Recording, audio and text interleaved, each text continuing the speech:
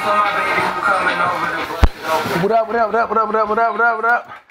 Back at it with that new Big Sean Detroit 2. As you guys know, that dropped on Friday, so naturally we had to check it out, give it a listen. Uh, you know, I, I, Sean has a very interesting way of of really fusing, and I think this is why he fits into the good music family tree so well, is because he's got this perfect way of balancing uh, a soul-driven record, uh, a, a, a, emotional record, and still make it have lines that you remember, still has melodies that are catchy and stick in your head.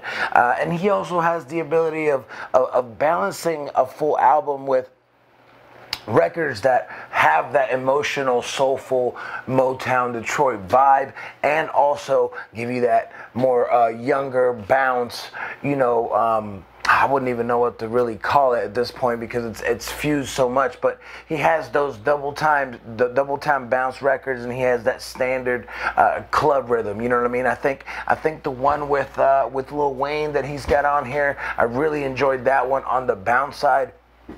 Uh, of course, uh, Harder Than My Demons is one of the records that he released initially with the release of the album. There's a video for that. Make sure you go check that out. And then a couple days ago, they released uh, the Travis Scott feature, which honestly, uh, not one of my favorite records on the project. I understand that probably for for the sake of capturing Travis Scott fans and bringing them over into the album, because I do think that those two artists play very specific roles in the good music umbrella.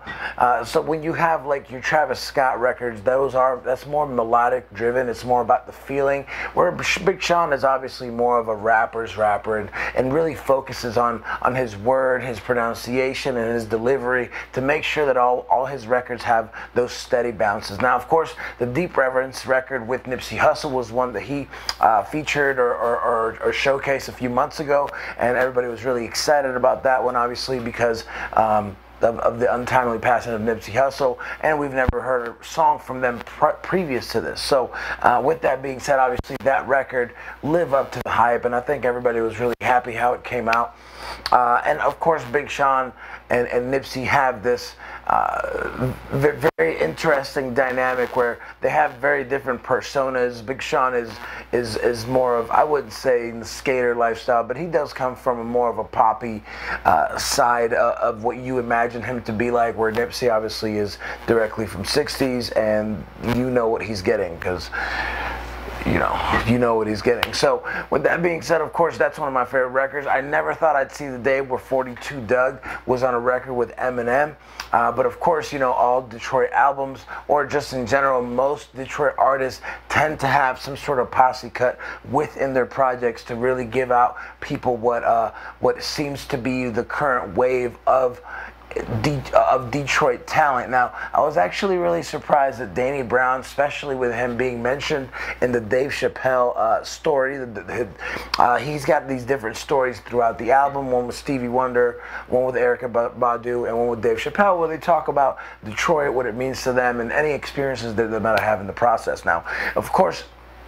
Uh, Dave Chappelle's was interesting, of course, and then you know just from that story you get an interesting uh, uh, um, understanding of what Big Sean wants to deliver. I think he's obviously at a later part in his life. Records like the Jhené uh, and and Ty Dolla Sign record take you back to the Jhené and Big Sean project, where it's just. Um, I don't want to say more young love, but it does kind of have that feeling of, of timeless, young, like, you know, very, very um, even the beat, the production on this record, they always seem to have some sort of retro thing that makes you feel like, you know, it's like, it's like, a high school kind of vibe where it gives you that feeling of love and it's not the the lusty like sexualized kind of thing. It's more of a, a record that gives you kind of an uplifting happy feeling or whatnot.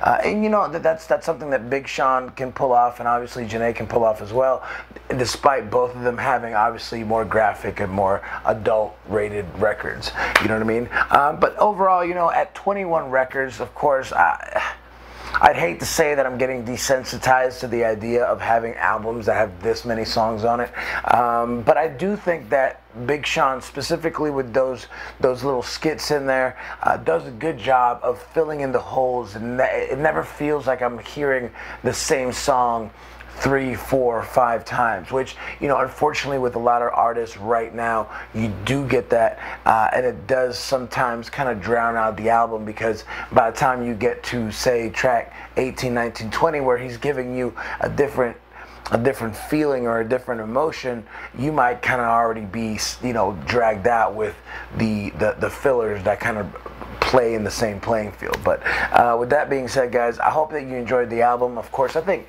Big Sean always does a good job at delivering consistency and records that you know you're getting from Big Sean. And because his flow is uh, predominantly pretty diverse and he's able to do a lot of different things, even in this album, he, he does try out some new things with melodies and deliveries and things like that. Um, and it's always good to see that these artists aren't staying stagnant in whatever's making money for them. So, with that being said, you know, I hey, hey, hey, I think a Drake feature on this album would have helped both of them.